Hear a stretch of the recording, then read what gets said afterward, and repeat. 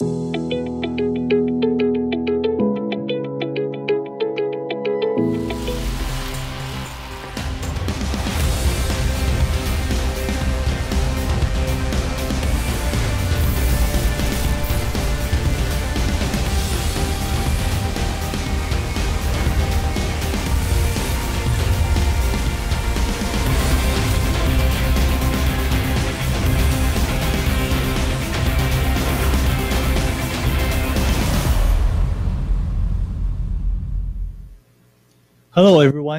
and welcome.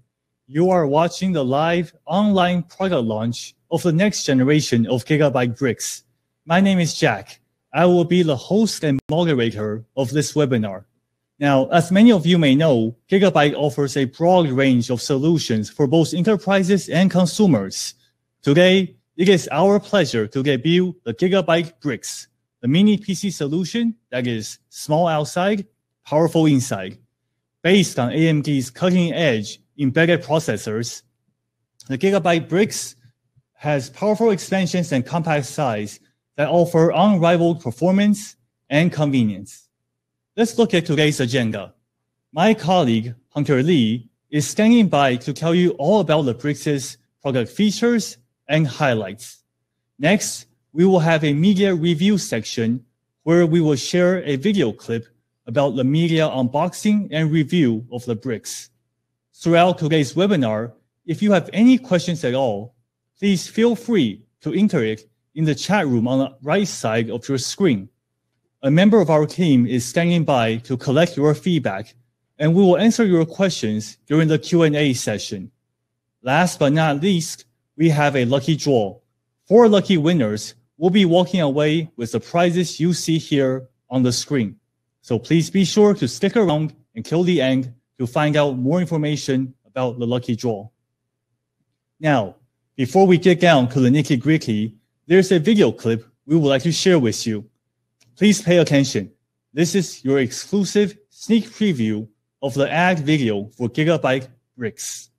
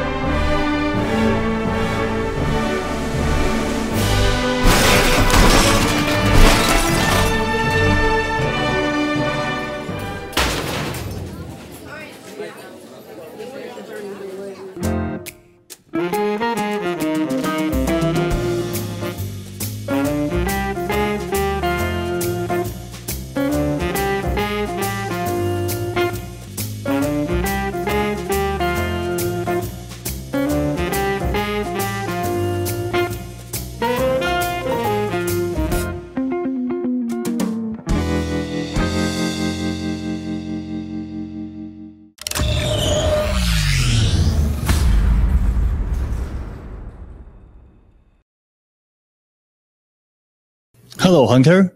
Hi, Hey, Jack. there you are. Hey, How nice are you? to meet you. Nice Good. to meet you too. We Yeah. met each other before, obviously. How are you today, Hunter? Good. It's a nice weather outside. It's a Yeah. great day for the launch event. Yes, and it's a very nice video clip that we just watched. I really like how the Brix is demonstrated to be used in a commercial retail setting such as a pub. Don't you think? Yeah, definitely. That's why we call this like product with uh, our business more focusing in the commercial product. Mhm. Uh, that's mean in the commercial purpose, like not only for you know like small restaurant or Mm-hmm. any other commercial uh, usage you can use. Because uh, this new machine from the MD product have so many unique features. I cannot wait to tell you more about it. Okay, well, why don't we get started? Let's start with the uh, development process of the Brix. Tell me, Hunter, was it difficult to uh, design such a compact and small device with so many features? Definitely. It's very hard. It's easy to build a big PC, you know, you can store anything you like, but it's really, it's art. That's an art. it is an art. yes. How to shrink the big tower into like small four by four inch by four inch size. That's really difficult. Let's take a look about uh, on the slide I have today. So actually it's like creating, you know, like the development cycles So every time when we have new product, new product launch, we need to do that over and over again. For example, in the beginning, what platform you gonna use, Platform, yes. right? And then we pick the platform, and then we have to think about how small. What's the small enough? Mm, What do you mean the mini PC? mhm. So right now, what we did is like four by four size. We call it like a four inch by four inch, and this is probably the one of the smallest one with a very po- powerful big core CPU inside. And then after we deciding the dimension, then the next will be the really challenge to R&D. We call it uncompromised the performance. Okay, uncompromised performance. Yeah, definitely. Do you want to buy something is been like handicap or something like no, lagging? I think consumers, customers in general expect the best. Yeah, yeah, that's why that's really difficult for the R&D. They not only have to maintaining the performance, but also in the meantime they have to make sure the machine is running cool and in a very low noise and also with very power efficiency. That's really difficult for them. And but good thing in the gigabyte referee experience, we are more than 20 years in the industrial. We have no insight on PC architecture. So that's why we will be doing the, we are the one of the best mini PC manufacturer in the world. Mhm. So you've talked about the uh, performance and the noise. Maybe you can go a little more into the noise and the uh, heat, because that will affect the performance and the durability of the device. No. Definitely, because right now all the modern CPU they have uh, they call it thermal protection. That means when the CPU go over a certain degree, for example, like more than 100 degree, we will cause throttling. That means they'll be slowed down their their speed in order to reduce the heat. But for the mini PC, that's really challenging because think about the size of it, right? So it's really challenge for our R&D, especially on the thermal wise. We have to make sure that CPU won't hit the throttling, Mm. but also maintaining in the low noise. Mm. And that's really challenging. For for this machine, we spend a lot of time in the thermal solution. We're using the active fencing. The fencing including the two copper heat pipe inside and entirely there's a big chunk of the bunk. And then we'll be able to despite the heat as soon as possible and remain the very low noise. Okay, so you have good performance, low noise, good heat dissipation, and that equals good reliability and durability, I, I suppose. Yeah, definitely. That's why we very honor. We call it durability test. That's why we honor all the product in like three year warranty because we know what we're doing. We're not picking like a chip component or like the true solution to do. We're always using a top notch product and top of quality product into our product. Mhm. And that's making our machine very durable and reliable. You can do like 724, 365 for three years. There's no Really? doubt about it. Okay, so while we're on the matter of durability and quality, perhaps you can tell us a little more about the service that comes with the Gigabyte Brix. Uh, that's another good point too. For the Gigabyte, we've been in the industry for so long, and we have almost like we have like almost like global coverage. And then that's mean if you buy the product from your region, and then you have something wrong within three years, or you have some technical issue, you always can find somebody. You also can send an email to our customer service. We have FAE, we have technical support. We're able to answer your question. Speaking of questions, I, I imagine one of the things that our viewers might be thinking about is there are other mini PC solutions on the market. So how is the Gigabyte AMD Brix different or better than other solutions? Uh, well, I have to be very proud to say we are the one of the best because I think about when in the couple years ago, it's nobody making a mini PC until one day Gigabyte coming out and Intel follow up. They have the NUC, NUC, the nuke, and then since then, the other competitors starting joining, but they cannot compete with us because we know the inside out, just I mentioned before, and then we never compromise. We saw too many competitors, they do some compromising, so they trying to reduce uh, TDP, so the CPU runs slower, so they won't increase the heat.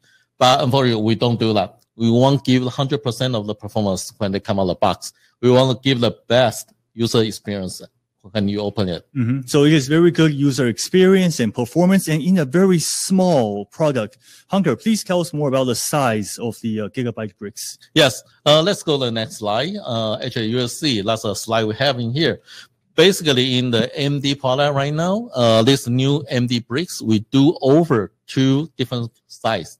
One we call slim version. Slim version basically is using like a SSD with uh and the memory. That's it. That's why we can keep the very slim, just like uh, you see in here in my hand. It's really small. smaller than my palm, right? And then we call it it's four by four. So actually, if you count the dimension, it's only like 0.47 liter. Mhm. That's very small. That's Yep. yeah. Compared to yes, I like this one too. Compared to the the Coke I have, this 0.5 liter is even smaller. Yes. So that's why we call it a mini PC. And the taller version, obviously slightly taller, but dimension wise still four inch by four inch is taller. The reason we have tall version is because still some people need to be using the traditional hard drive. For example, they still need to want to install like 2.5 inch SSD or hard drive or for dual storage. You can have the M.2 storage plus another 2.5 inch. So we have a tall version hmm. and plus tall version later we have, we got to tell you the one special unique design Okay. we call upgrade kit. Upgrade So- kit. Yeah. Basically right now we carry for two different versions of the Brix. Two different versions. Yes. Right. So the smaller one is the slim version and the uh, bigger one is the tall version. Yes, tall right. and slim, both Yes, excellent choices. thank you. Uh, you mentioned the AMD platform. Can you please tell us more about why we chose to go with AMD and what are the uh, research and development challenges or uh, problems you might have faced while developing this AMD solution? That's good. That's another good question. Uh, people been wondering why we don't have the MD product for so long. So let's go to the next page. MD product right now, as you see, this time we're choosing the Ryzen 7 4800U because we think there's uh, several unique feature from offering from the MD. First of all, this is the first gener- first time you ever see the seven nanometer thanks to TSMC. So it's seven nanometer processing. That's mean on the same footprint, you can put more CPU core and thread into the small package. Mhm. And so that's why we see this small tiny machine is one of the first machine able in the market able to supporting eight core 16 thread. Mhm. So that's one of like very unique feature. And second of all, on the AMD Vega engine, this is a one of like special engine. You can do the mini PC with four independent output. In the past, if when we talk about the mini PC, most of the time you only support like two output, sometimes maybe three, but you never see four by 4K output in this mini PC. But good thing is AMD did it. Yes. That's why in the past two years, AMD get great momentum in the market right now, and we think this is good product, and we thinking that's why we should have the, this one too, Mhm. and that's why we have the, this project. And fortunately, right now we have on the market right now. Yes, uh, I heard something very interesting. You told me uh, before that having the AMD platform in our Brix is having a lot of power in the palm of your hand, and that is, I think, one of the benefits of using this platform. Yeah. Uh, tell me, Hunter, are there any other design uh, considerations you had to resolve or add into the uh, Gigabyte bricks? Because I think you mentioned expansions and upgrades. Yes, we do have the new upgrade kit, and think about if you buy something or you buying the car, do you want to upgrade your car or you upgrade your equipment? It depends on how much money I have, I guess. Yes. So, but we know a lot of people have a miss. There's always think like mini P is so tiny, it's almost impossible to get upgraded. Mm. You buy as is, right? Nothing you can do. Mm. But we break this rule. So let's go to the next page. I can show you. This we call the upgrade kit. The upgrade kit basically is uh, when you purchase the one or like tall version we have in here. When left left, so it's a taller has space for 2.5 inch hard drive. But in chance when you're not using 2.5 inch hard drive, then we start thinking what else we can do Mhm. and what customer they may want to have. So we're using a same space like 2.5 inch hard drive. We create something we call upgrade kit. For example, I got a one in here. That's a the upgrade kit we have in here. Oh, that's This- beautiful. Yeah, this tiny PCB. They pretty much same like the 2.5 inch hard drive you have. So when you have this upgrade kit together, and then if you go back to the slide we have, so you will see after you install, then the system will come out with a second COM port and second LAN port. So basically, this will be very high end, you know, commercial PC or like IoT PC. You can do like dual LAN in some situation, like the customer want to have dual LAN for redundancy or for security. Then you can upgrade to like a dual LAN Mhm. system. That's why we call it upgrade kit. And in the future, we definitely gonna come out other different features upgrade kit for this model. Even something more exciting to look forward to. Definitely. I, I hear you talk about uh, ports and expansions. What is the internet connectivity options of the Gigabyte Brix? Do we have Ethernet? Do we have Wi-Fi? What do we have? Oh well, that's another great question too. Uh, everybody loves the internet. Yes. Definitely, right? You do online shopping, you do browsing, you do Googling. So basically, internet is one of very critical element for everybody's life, right? So what we did, we did high-end uh, networking in here. For example, for Ethernet, we're using the latest 2.5 gig Ethernet. So you get a fast connectivity speed, plus you got a very big bandwidth. So if you connect to your NAS or like a corporate server, you get a fast response. But a lot of time, people also intend to using Wi-Fi because for the Wi-Fi is much, much easier and convenient. For example, if you're going out or you don't have any Ethernet, you can use your your cell phone, right? Mm. You open your like a hotspot, mm-hmm. then you can connect to make the machine connect to internet. So for the Wi-Fi, we're adding a latest Wi-Fi 6 module in this in this machine.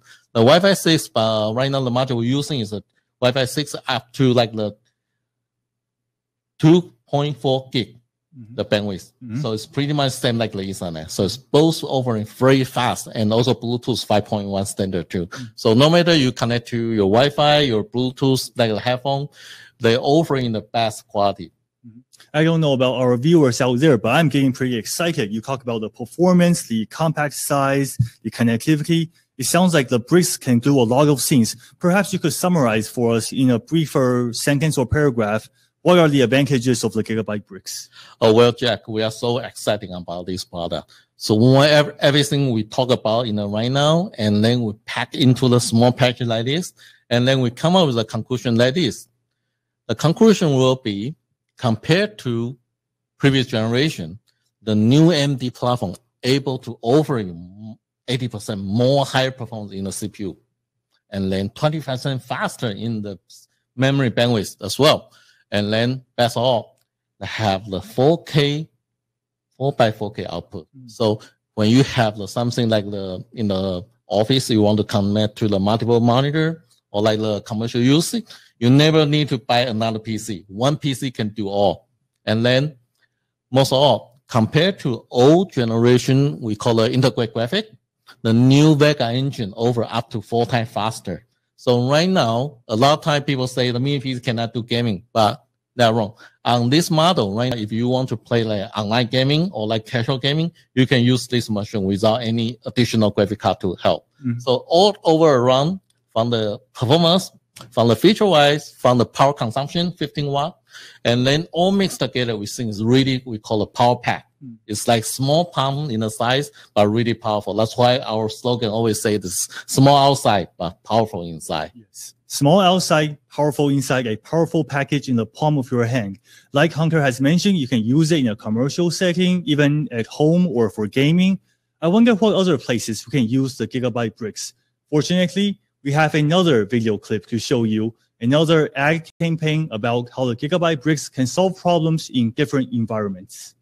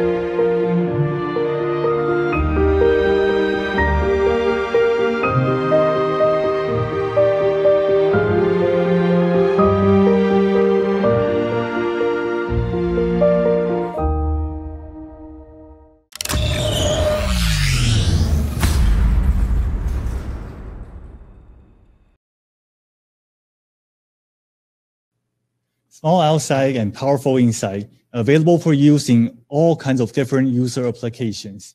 We now move on to the uh, media review section of today's webinar. We will share with you another video clip that has an unboxing segment and a review segment from a tech media company.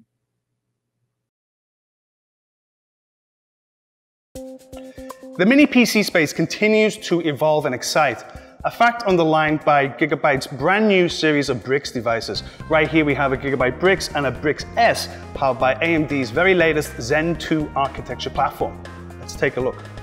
So welcome to the very first Gigabyte AMD series of Brix devices. Over here we have the Gigabyte Brix S, which as you can see is slightly larger, supports a 2.5 inch drives or SSD drives. And we have the ultra compact regular Gigabyte Brix. We have a VESA mounting plate, 135 watt power adapter, and two options of power cord for different regions. Okay, let's start by taking a look at the Gigabyte Brix, which comes in a very small 0.4 liter chassis. This is pretty much as small as computers get. And we'll start with the front I.O. Here you can see there are three Type A USB ports. Those are USB 3.2 Gen 1. You also have another pair of those ports, USB 3.2 Gen 1 on the rear of the device. You'll also notice on the front of the device you have a USB Type-C port that's actually USB 3.2 Gen 2. There is another one of those also on the rear. On the front panel, just to conclude, we have our audio jack, which is for both headphones and microphone, plus a power button, which includes an indicator. Uh, on the back here, we have a 2.5 gigabit Ethernet port, uh, a HDMI port, and a mini display port. But the great thing about the new AMD platform is that the Radeon graphics, which is actually powered by a Vega 8 CPU, can power up to four displays using both the HDMI here, the mini display port, and you can also pipe DisplayPort out through both of these USB Type-C ports. That gives you a total of four displays at 4K at 60 Hz, which is pretty impressive. Now, both of these uh, devices here, they use the same I.O. The only major difference is the on the Gigabyte S here, you also have a COM port. Now this is particularly useful for commercial and industrial users where COM ports are surprisingly, despite a seem, being a seemingly legacy kind of technology, are still very important for certain devices, including things like scanners. So there you have it. Now, because these Brix devices are really useful not just for PC enthusiasts, but also for commercial applications and sometimes places where the public will have access, we've added a Kensington lock here, just, just for situations when theft could be an issue. As with all Gigabyte Brix products, they're sold as bare-bone devices, which means that you have to install your own drives, memory, and OS. So to do that, you need to, first of all, remove four screws from the undersides of the device, which we have for the magic of television, we have already done. And here you can see what we've got inside here. Let's start with, you can notice here we have a SATA cable. This is so you can install your drive and the drive will actually be screwed into the, the rear of the rear of the, the chassis here. You can also see we have a Wi-Fi Bluetooth 5.1 module. This, this is Wi-Fi 6, so of course this is the best Wi-Fi connectivity around if you have the, the right router installed in your, your location. We also have two SO DIMM slots. This supports DDR4 up to speeds of 3200 megahertz. And actually AMD strongly recommends, recommends that you do use 3200 megahertz because this will improve performance. Here we also have an M.2 drive slot which supports PCIe Gen 3 by 4. So as you will recall, the Gigabyte Brix S includes one uh, 2.5 gig Ethernet port and one COM port here. But for certain consumer applications and certain customers, they will want more than that. So what we've done is we've designed a special expansion kit, which will give you an additional COM port and an additional gigabit Ethernet port. So you can see the contents of that kit right here. Here we have a daughter board, here we have a, an, an alternate I.O. shield, and here we have a coaxial cable. Let's show you how it all fits together. Okay, so we've replaced the I.O. shield, we've also put the four screws back in the base of the device. So now as you can see, we have a 2.5 gig Ethernet port, a gigabit Ethernet port, and also a COM port using an RJ45 connector. Now this is particularly, this configuration is useful for customers who want two network ports for either redundancy or perhaps for daisy chaining. But it's also good to remember that if they don't want this, if they prefer to have expanded storage, they can also choose not to have this configuration and use it and install a 2.5 inch drive on the device. Thank you for joining us for this unboxing video. Please go to our channel where you can enjoy a subsequent video where we explore the benefits of AMD's high performance Ryzen 4000 series platform.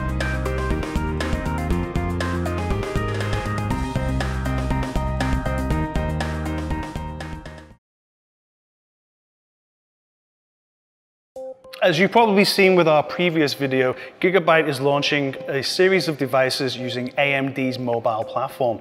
This is the Ryzen series based on the new Zen 2 architecture.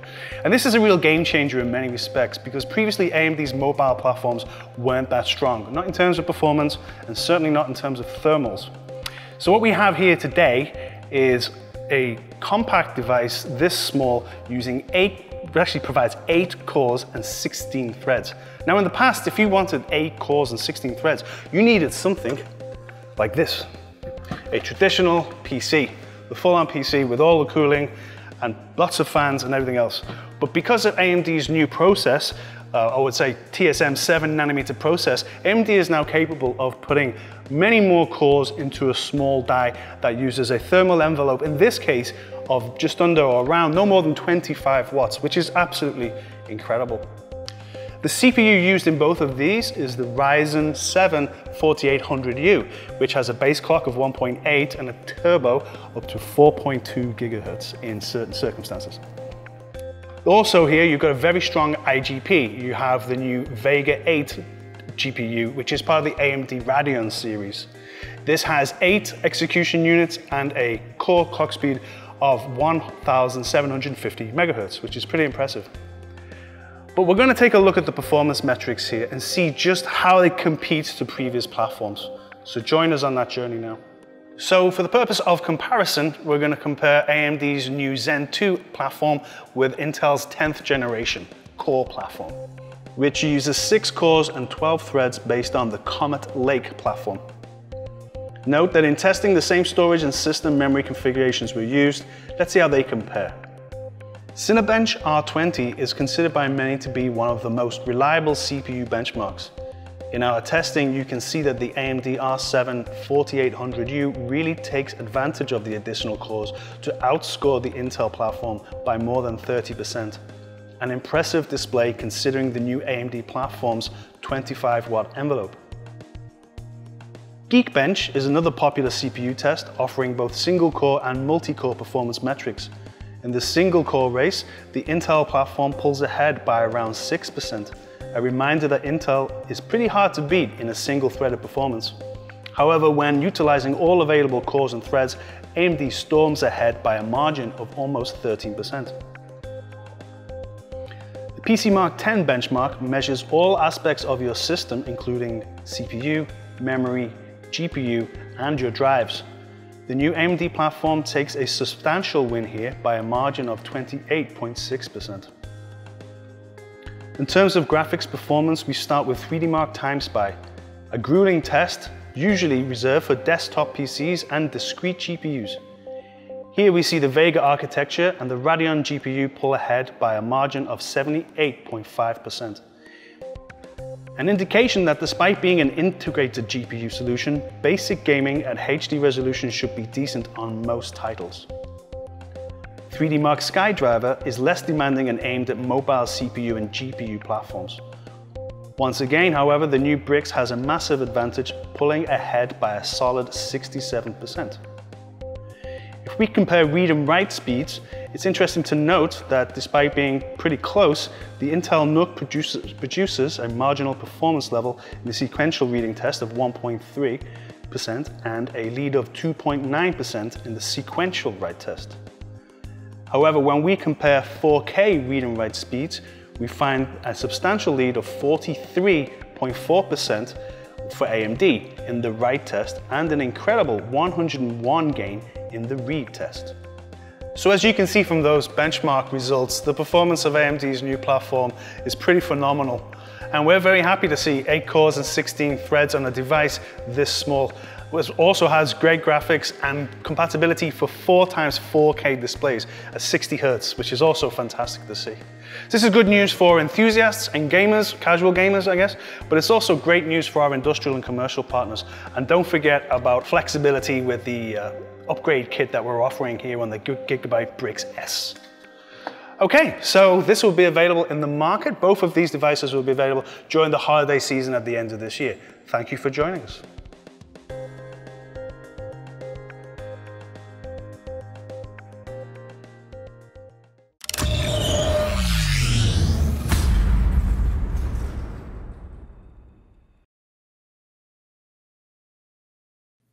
That was a very informative video. I hope everyone is as excited about the Gigabyte Brix as we are.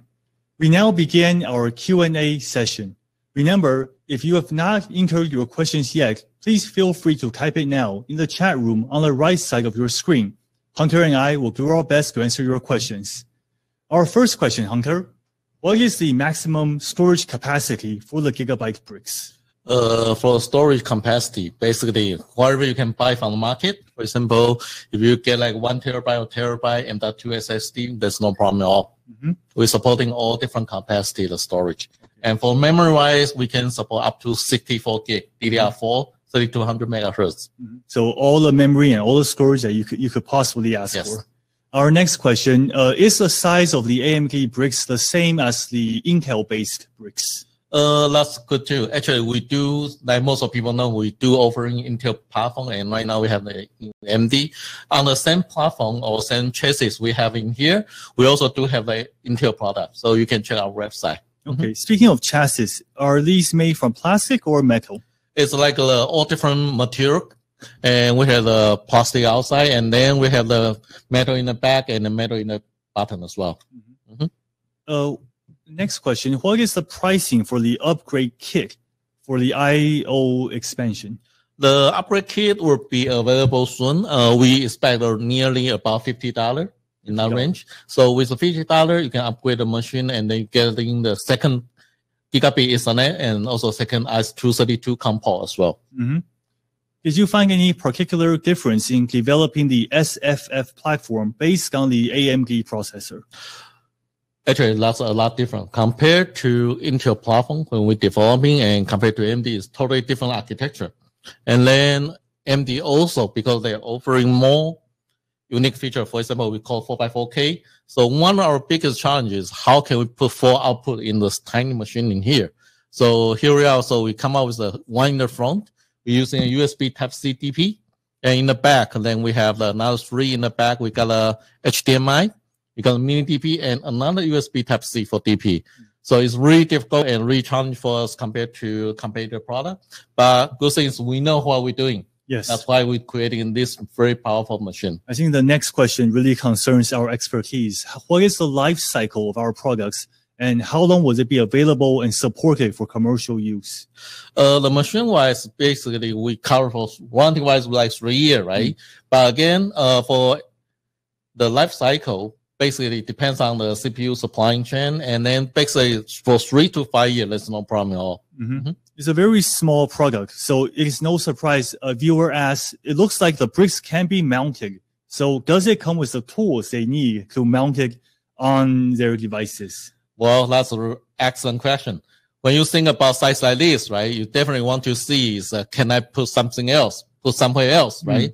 All the Brix product we come out, we have what we call a VESA mount so that when you find the parallels or be VESA mount bracket, so you can just using school, school to school up, and then you can put any monitor or TV which supporting the VESA mount. Then you can just hang in there. Just, just put it up. Yes. Okay. Uh, does this unit come fully assembled and ready to use right out of the box?